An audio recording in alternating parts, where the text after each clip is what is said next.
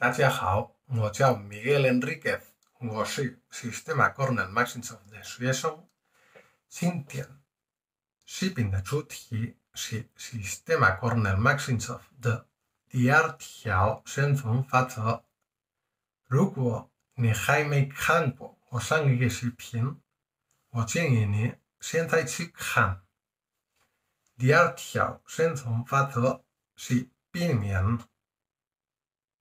不幸的是，在某些情况下，我们无法预见危险。那如何避免它呢？我给你举几个例子。现在有种危险是冠状病毒。以前我们可以自由的旅行到任何地方。但是现在，为了避免这种危险，有好多的限制。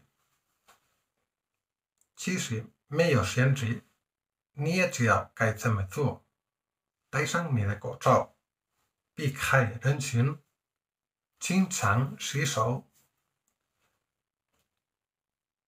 另一个例子跟这个有关：如果你在街上遭到失去，你可以假装被病毒感染。那么，攻击者在靠近你之前会丧失。你还能想到什么其他情况？如果你还想更深入的研究这个主题，你可以找我，或者你可以查看。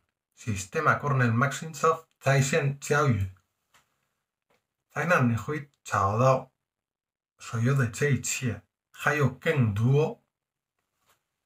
如果你对自己和亲人的生存有兴趣，我会尽快发布第三条生存法则。再见。